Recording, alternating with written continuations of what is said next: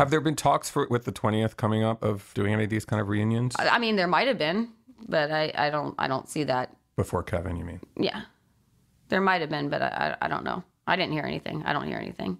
And so, how do you process that? Because this is, I'm sure, one of the proudest moments of your career. And and how do you react to this kind of news breaking, kind of trickling out? It's not even one day. It like went over. Well, it kind of was one day. I mean, I kind of like remember like it was not that long after the Harvey thing, and then I get a notification on my phone, like we all did, you know.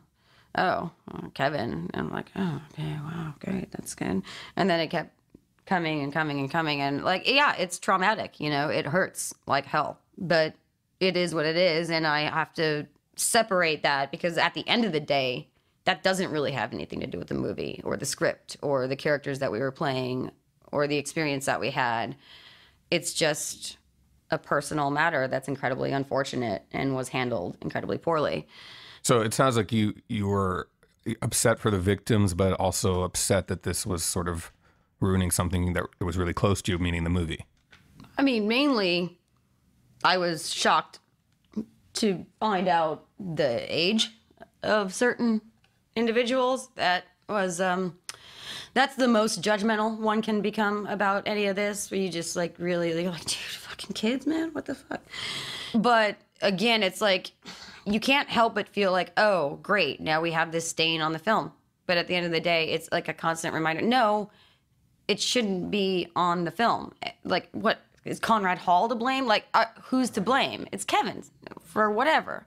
Mm-hmm. It doesn't have anything to do with American Beauty at the end of the day. And I think, or I hope at least overall, like some of that will dissipate from how people regard the film itself.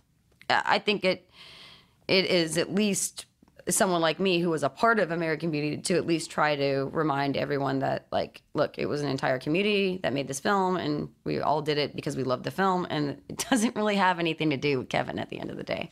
I'm not an apologist for the film, but I I see it from a very I think mainly because so much time has passed. I I think I finally have objectivity with the film. Uh, I no longer feel personally tied to it in any way, and yet I don't feel detached on a personal level. But I just I can kind of look at it from other people's point of view, and also just as someone who was connected, just, to remind them just to watch the movie. Like that's all it is. It's a movie, people. You know.